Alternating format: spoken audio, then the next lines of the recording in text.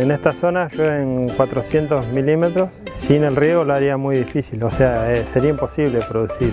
Y estos años nos está tocando experimentar una baja importante, hay que hacer todo lo posible para mejorar la eficiencia del uso del agua. La inversión más grande de los campos de esta zona es eso, es eh, la sistematización para poder después regarlo.